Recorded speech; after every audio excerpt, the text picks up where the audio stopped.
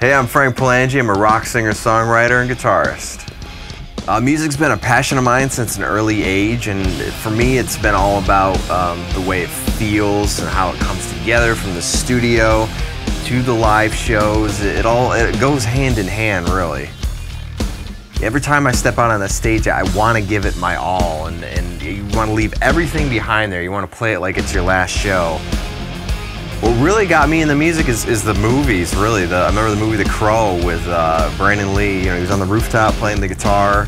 And uh, from there, I was like, you know, I want one of those instruments. And then uh, I got into a lot of 80s metal and 90s rock, and a lot of that old school stuff really influenced how I write structures, and um, I don't know, it just had a huge impact on me.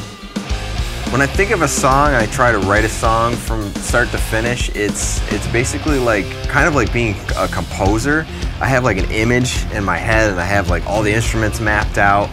And uh, sometimes, you know, I have to do all the instruments and put everything together. And it's just one of those things that uh, it comes together gradually and it starts to form itself, you know, and from the lyrics, from the guitar, I think ever since a kid, or how it's made me feel is it's it's, it's an outlet for me because uh, you know I, I, grew up with some health issues and I wasn't able to do sports and certain things in high school, so I always felt like music pretty much was the go-to, my creative outlet. I could do anything. I could express myself. Uh, I could kind of be a rebel, even though I'm not, and I could do things at a more of a raw type level. That's why I like rock and roll because you feel that raw power.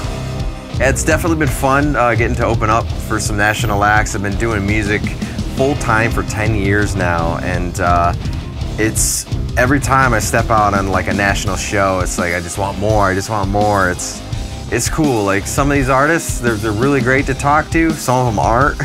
Um, but either way, it's it's that audience interaction, you know, that you really want. That's what you get with those shows.